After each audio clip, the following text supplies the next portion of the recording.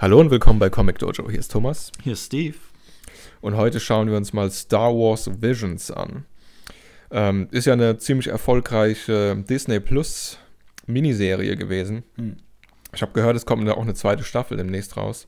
Und die erste Folge dieser Miniserie, die hieß, ähm, das war ja eigentlich eine Anthologie, also Miniserie äh, ist so eine Sache. Jede Episode war eine eigene Geschichte von verschiedenen großen Namen in der ähm, Anime-Industrie. Und die erste Episode war, da war das Character Design von Takashi Okazaki. Dem einen oder anderen sagt das vielleicht was. Takashi Okazaki ist nämlich der Creator von Afro Samurai. Afro Samurai ist ein ziemlich bekannter Anime, würde ich sagen. So um die 2000er Jahre rum mhm. kam der raus.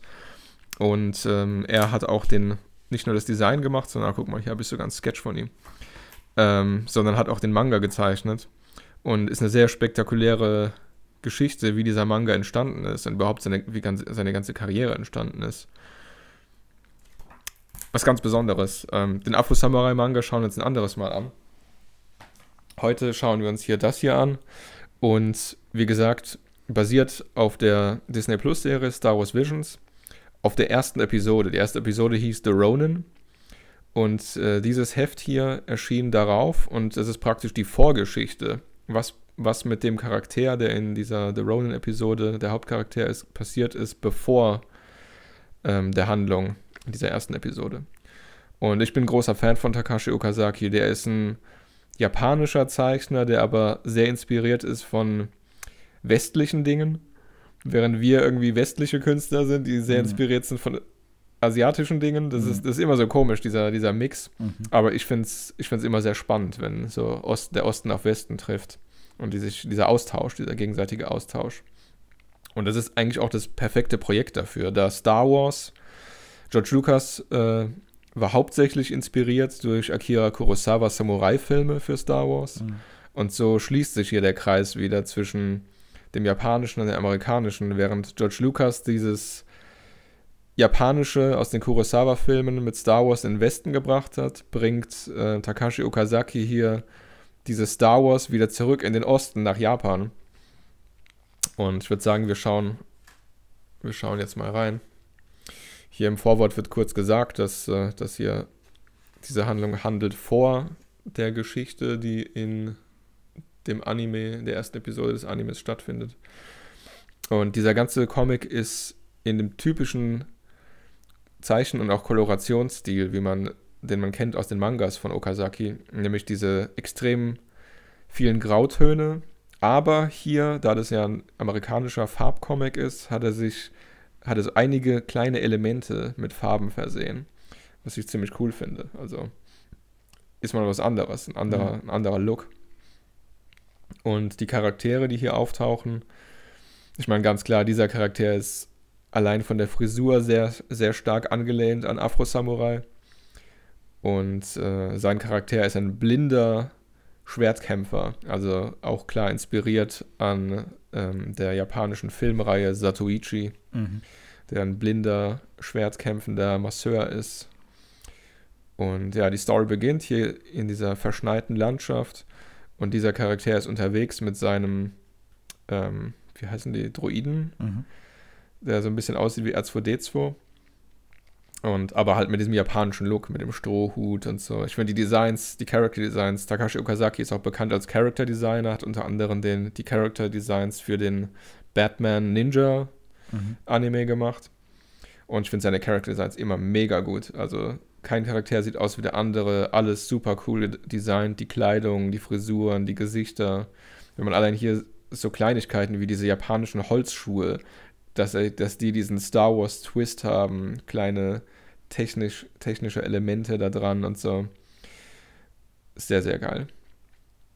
Ja, und er läuft ja diese Schneelandschaft und hier oben sieht man hier so seine, seine Haare und er guckt dann da runter und auf dieser Brücke ist ein anderer Charakter, der auch mit einem Druiden unterwegs ist und der ist umzingelt, vorne und hinten ähm, von äh, ja, Gegnern, sag ich mal.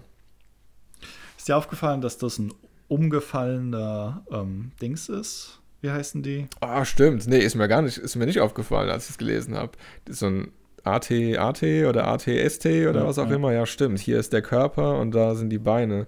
Also das ist nicht nur eine Brücke, sondern das ist so mega cool. Ja. Ja, cool, dass, du, dass dir das aufgefallen ist. Ja, dieser Comic steckt auch voll von so Easter Eggs und das, Mhm. das macht, ist für mich nochmal so ein, so ein extra Spaßfaktor.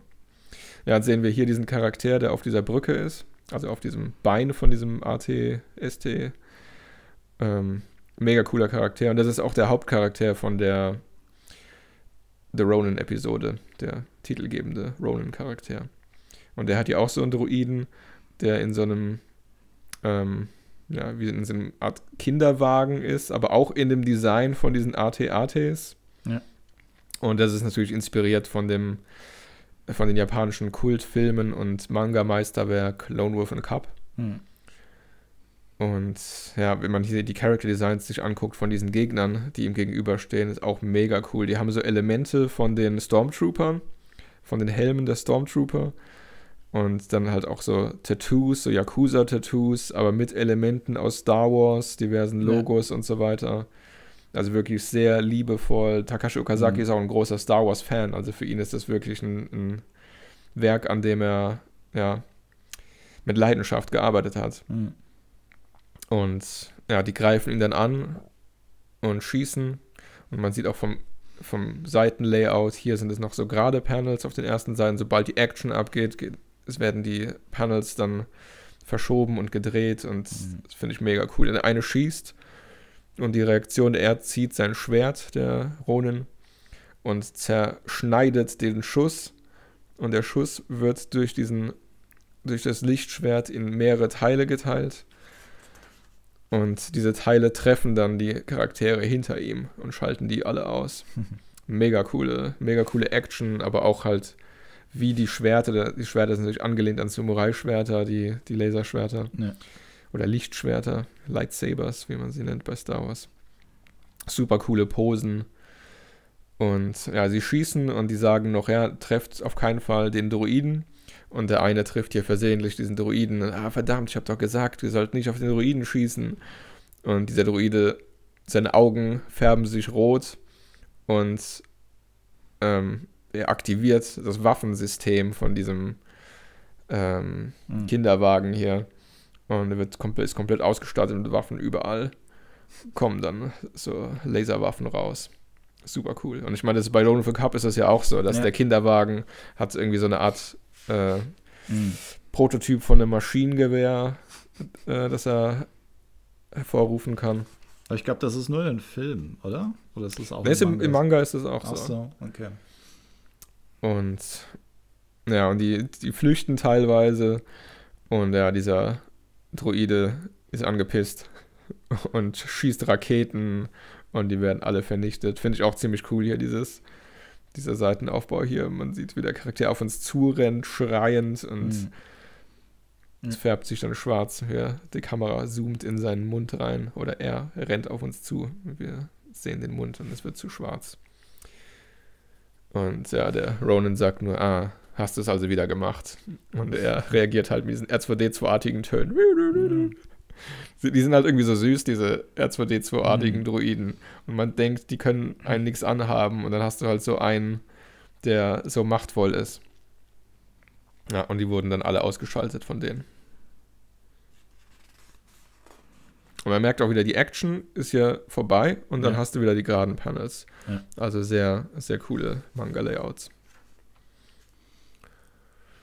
Hier finde ich auch sehr cool, sehr Star Wars-typisch, diese Kamerafahrt Mhm. nach unten. Vom, So fängt ja eigentlich Star Wars auch an. Ja, Fast ja. jeder Star Wars-Film fängt, glaube ich, so an, mit diesem Shot von dem Weltall und dann geht es runter. Mhm. Und da sieht man auch wieder, wie liebevoll Takashi Okazaki das hier gestaltet hat. Und wie es so oft ist bei Samurai-Filmen, gibt es oft so eine Szene, die in so einer heißen Quelle stattfindet. Und gerade hier dieser Kontrast aus der Schneelandschaft mit der heißen Quelle sind ziemlich cool. Und da treffen unsere zwei Protagonisten und ihre Druiden aufeinander. Ich finde es witzig, dass der Druide auch ein Bad nimmt. Ja. das ist ein bisschen. Okay, vielleicht ist es ja ein Ölbad, keine Ahnung, aber. Für Technik eigentlich nicht so, so eine gute Idee, die in Wasser zu tunken. Mm, ja, und dann unterhalten sich die zwei hier ein bisschen. Der Afro-Samurai-artige Charakter meint, ah, das Einzige, was noch fehlt, wäre jetzt ein Sake. Und der Ronin meint, ah, ich hab Sake, hier, willst du welchen? Und er meint so, ah ja, ich wollte dich jetzt aber nicht zwingen, dass du mir was anbietest. Mm, vielen Dank. Und dann auf der nächsten Seite sieht man dann, ah, okay, die haben jetzt schon einen Haufen Sa Sake getrunken, hier sechs Flaschen leer getrunken. Hm. Und wir sehen auch, dass der Ronin-Charakter schon ziemlich übel zugerichtet ist. Also erinnert so ein bisschen an Darth Vader, wenn man ihn ohne Rüstung sieht, ziemlich demoliert und irgendwelche technischen Elemente, die da in seinen Körper ähm, mit eingebunden sind. Ja, hat auf jeden Fall schon ein paar Kämpfe hinter sich. Genau, der hat schon, schon viel Action gesehen. Ja, und man erfährt ein bisschen was über die Charaktere. Also nicht viel, aber es, es macht die eigentlich noch mysteriöser. Ähm, er bietet, also der Afro-Samurai-artige Charakter bietet dem Ronin an, er könnte ihn ja massieren, als Danke dafür, dass er den Sake geteilt hat mit ihm. Was natürlich nochmal so eine Anspielung ist, dass er auf Satuichi basiert, mhm. dem blinden Masseur. Mhm. Und er meint so, ja, das klingt nicht schlecht, aber er möchte lieber, dass er möchte die Schmerzen seiner Wunden weiterhin spüren. Er möchte nicht, dass er nicht zu viel Komfort haben, weil er hat es nicht verdient. Und der andere meint dann verdient. Äh, wieso? Und dann ja, so ist es. Er hat nämlich in vergangenen Kämpfen hat er viele, viele getötet. Und deswegen verdient er diesen Komfort nicht. Und dann sieht man ja diverse Star Wars Charaktere, die er wohl getötet hat, aber halt mit dem Takashi Okazaki Twist mhm. mit dem mhm. Design. Also das sind Charaktere, die, die, wir teilweise so kennen, so wie die hier oder den da. Ja. Aber, oder den hier auch. Aber halt umdesignt in, mit diesen japanischen Elementen und die sehen alle mega geil aus. Also gefällt mir wirklich sehr, sehr gut. Ähm, ja, und viele meiner Freunde oder Verbündeten sind auch gestorben.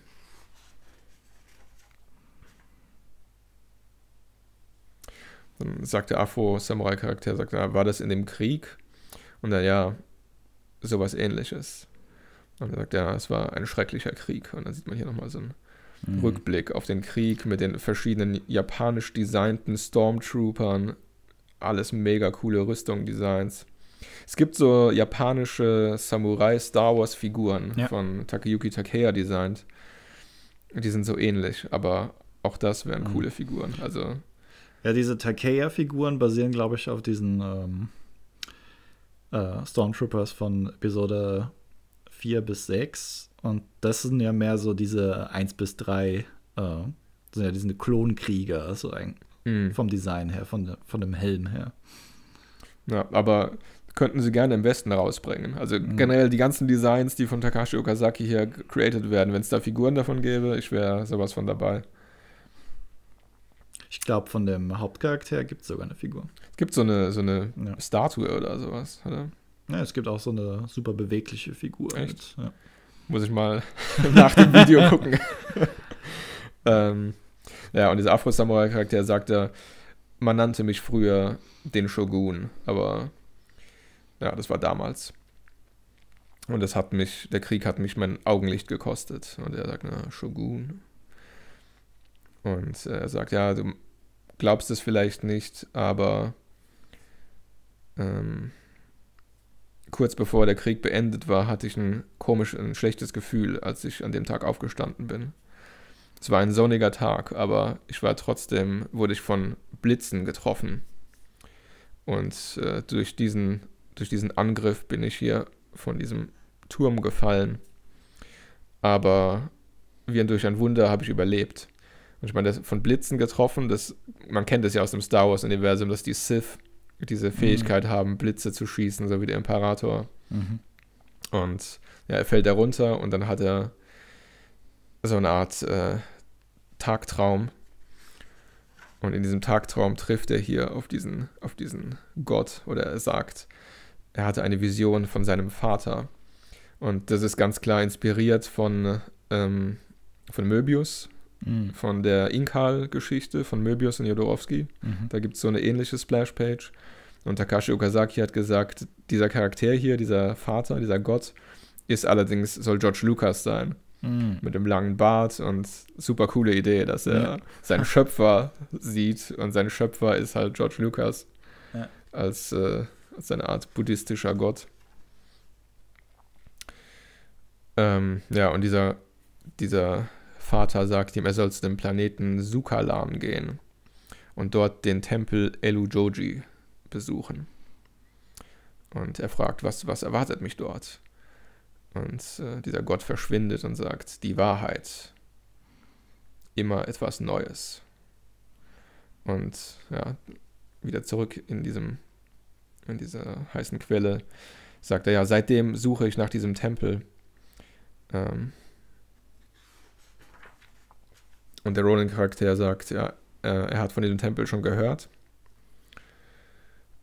Ähm, er weiß aber nicht, wo er ist, aber er hat von seinem Lehrer davon gehört. Die Wahrheit über die Galaxie ist dort zu finden. Und es ist der Ort, der einzige Ort, an dem du deine Seele reinigen kannst. Was auch immer das bedeutet. Und dieser äh, Shogun-Charakter sagt äh, deine Seele reinigen.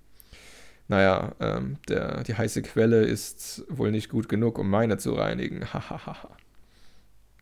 Und die, die Droiden, die spielen hier so Yakuza-Würfelspiele mit den Evox. Finde ich auch sehr cool, dass er eine Ge- Gelegenheit gefunden hat, die Evox noch mit in diese Story einzubauen. Ähm, ja, und dieses Yakuza-Element. Ziemlich cool. Er sagt, oh ja, der Druide liebt äh, die Würfelspiele mehr als alles andere.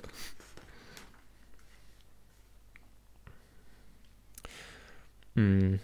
Ja, er sagt dann, es gibt ein schönes Casino auf der anderen Seite von dem Berg. Ähm, wie wäre es, wenn wir da hingehen würden? Hm.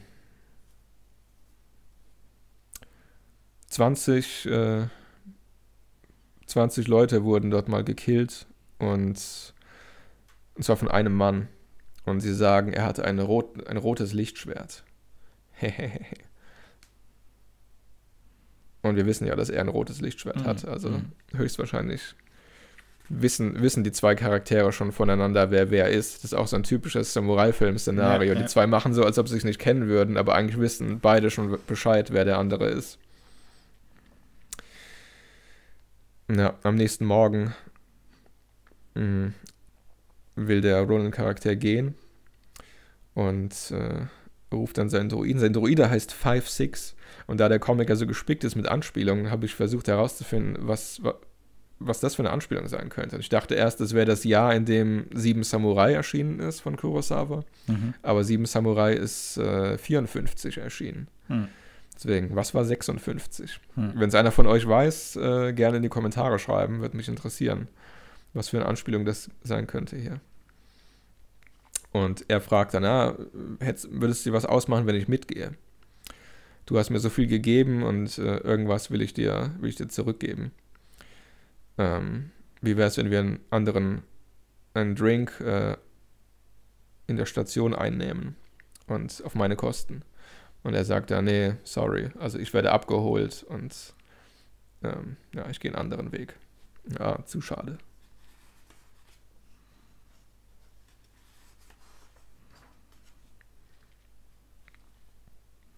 Ja, und dann kommen die hier an so einen Friedhof und da trennen sich dann ihre Wege.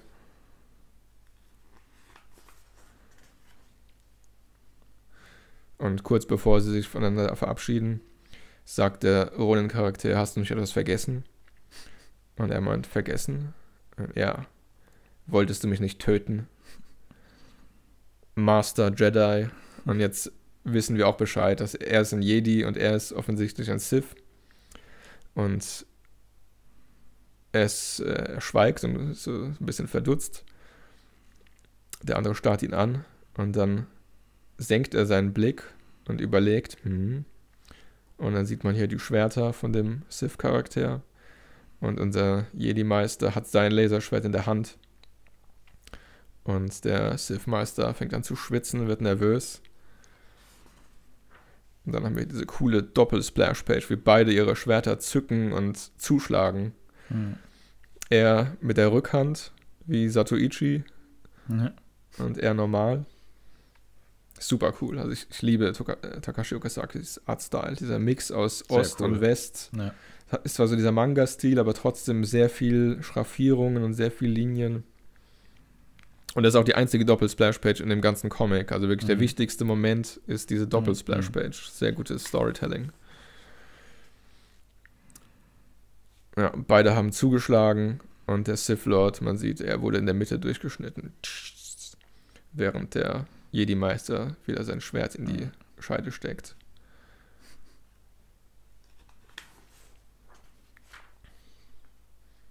Und dann sind wir wieder in dem Moment davor. Beide stehen da und keiner hat sein Schwert gezückt.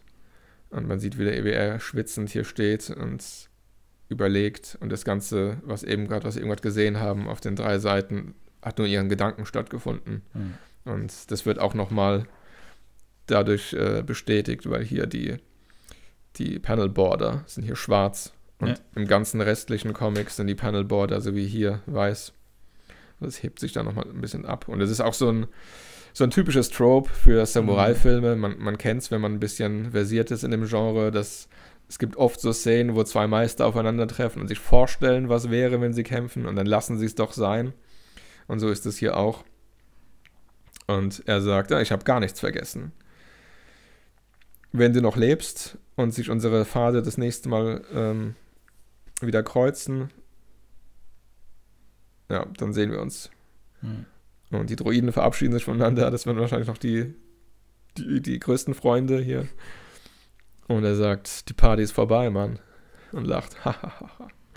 und der Sith Ronin meint dann, wenn ich meine Hände an meinem Schwert gehabt hätte, dann wäre ich gestorben. Und hier, der Droide zückt hier so, so ein Feuer. Und er sagt, ja, du hast recht. Und wir können noch mal kurz ein bisschen zurückgehen und sehen, was er damit meinte. Weil hier hat ja der Jedi-Meister, auch wenn er blind ist, hat er so nach unten geblickt und hat Mhm. gesehen, dass, Ja. dass er seine Hand nicht am Schwert hatte. Und der Jedi-Meister hatte seine Hand schon am Schwert. Das heißt, er wäre schneller gewesen und hätte ihn besiegen, besiegt dadurch. Mhm. Ähm, ja, und er sagt, ja, du hast recht. Lass uns gehen, Meister. Und das ist auch nochmal so ein Twist, dass diesmal der Druide nicht der Handlanger ist, sondern der Druide ist sein, sein Mentor und ist mächtiger als er, wie man am Anfang schon gesehen hat, mit seinem ähm, Kinderwagen voller, voller Waffen. Mega coole kleine Story. Ja. Ähm, hat mir großen Spaß gemacht. Also nicht nur wegen den ganzen Easter Eggs, generell einfach der Zeichenstil und auch, dass es mal eine, wieder eine in sich abgeschlossene Geschichte ist, was Ja. man heutzutage wirklich sehr, sehr selten hat. Die meisten Mhm. Stories heutzutage, die man so in Heftform kauft, sind dann irgendwie Part 1 von 6 oder 8. Ja. Und ich meine, Hefte sind mittlerweile so teuer, wenn ich mir das angucke. Dieses Heft, das hat einen Price Tag von 5 Dollar. 5 Ja. Dollar für so ein 20-seitiges Heft ist schon eine Menge Geld, finde ich. Wenn du im Vergleich dazu kriegst du für 8 Euro einen 200 Seiten Manga. Ah, apropos Manga. Ich habe gesehen, der Panini Verlag bringt äh, so im Juni, glaube ich, habe ich auf Amazon zufällig gesehen, als Mhm. ich äh, nach anderen Takashi Okazaki Sachen gesucht habe, bringt äh, Panini ein Star Wars Visions Manga raus mit 112 Seiten von Takashi Okazaki. Bin ich Hm. gespannt, was das ist. Ob er in Japan die Story fortgeführt hat oder Okay. 112, weil ich meine, wie gesagt, das sind 20 Seiten. Wenn es 112 Seiten gibt von ihm, würde mich sehr freuen. Ja, es gab ja wahrscheinlich dann noch weitere Hefte von der Star Wars Vision-Reihe von anderen Künstlern, oder? Nee, es gab nur das eine. Hier im Impressum steht nämlich auch Published as a One-Shot. Okay. Dann finde ich diese Nummerierung aber komisch. Ja. Das ist immer so eine Sache, Marvel, weißt du, wenn du nur eins auf dem Cover hast, dann kaufen es mehr Leute, weil es Mhm. Nummer eins ist. Aber Okay, interessant. so viel ich weiß, gibt es keine Nummer zwei. Und Takashi Okazaki war auch der einzige von den Künstlern, der eine Mhm. Comic-Version da gemacht Mhm. hat. Wobei in Japan gab es äh, Star Wars Visions, gab es irgendwie noch so ein, ein Tankobon-Band von einem anderen Künstler. Mhm. aber im Westen, soviel ich weiß, nicht oder noch nicht zumindest. Ja, bin ich gespannt, was da rauskommt vom Panini Verlag. Juni war, glaube ich, das Datum. Okay, cool. Ja, super cool. Takashi Okazaki, wie gesagt, Afro Samurai. Hier gab es zwei Bände. Ähm, das ist hier der deutsche Band, kam super edel in Hardcover sogar raus. Und auch auf Hochglanz, Papier, auch mit äh, bisschen Farbe, also nur das Blut. Ähm, sehr cool, aber mittlerweile out of print, super schwer zu kriegen. Wenn, dann meistens ziemlich teuer. Werden wir uns demnächst mal angucken, weil ich bin großer Fan von Afro Samurai. Waren zwei Bände auf Deutsch. Sehr nice. Ähm, ja, und ansonsten, falls ich sonst noch irgendwas von Takashi Okazaki in meine Hände kriegen sollte, irgendwelche Artbooks oder japanische Veröffentlichungen, gucken wir uns bestimmt auch mal an. Und ja, höchste Empfehlung für Star Wars-Fans, für Fans von Samurai und Cyberpunk-Geschichten. Hm. Also ich fand es mega gut und freue mich schon auf diese 112-seitige Version davon. Okay, interessant. Ja, Thomas, wir sind ja selbst auch Comiczeichner. Was ist dein aktuelles Projekt? Mein aktuelles Projekt ist äh, auch so eine Mischung aus Ost trifft auf Westen. Ähm, und zwar Shaolin Grandmaster Killer, nur sind es bei mir keine Samurai, sondern Kung-Fu-Kämpfer. Also eher ähm, der chinesische Teil, nicht der japanische. Und ja, ich strebe auch so eine, so eine Mixtur an aus Mischung von modernen, von Sci-Fi-Elementen und traditionellen Martial Arts-Elementen mit meinem Comic. Mehr Infos dazu findet ihr auf meiner Homepage thomas-lezalek.com oder auf meinem Instagram thomas-lezalek. Und Steve, wie sieht es bei dir aus? Mein aktueller Comic Gashapau Band 1 und 2 findet ihr in unserem Shop. Link findet ihr unter dem Video. Ansonsten findet ihr meine Sachen auf Instagram unter steve-sozalek oder meiner Webseite stevesozalek.com. Ja, bis zum nächsten Mal. Bis zum nächsten Mal.